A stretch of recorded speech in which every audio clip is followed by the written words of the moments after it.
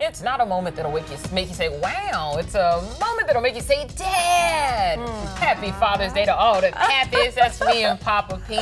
I'm always bothering him. I call him as soon as I leave 10 Tampa Bay every night. Happy Father's Day. I love that. Oh, that's me and my pop. That's Joe Campbell. We're doing some one of those little racing rides there. I have a lollipop in my mouth. Yeah. You're focused. The Poconos.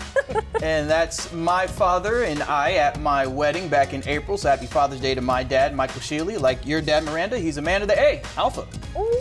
Y'all look sharp. All right, here's our photojournalist, Justin, and his dad.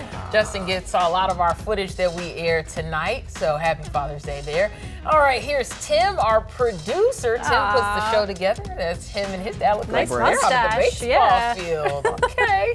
All right, we have Caitlin. She is our assignment desk editor. She listens to the scanner, does all that cool stuff, sends all, all of our crews. That's her and her dad. He looks like he's ready to take a nap.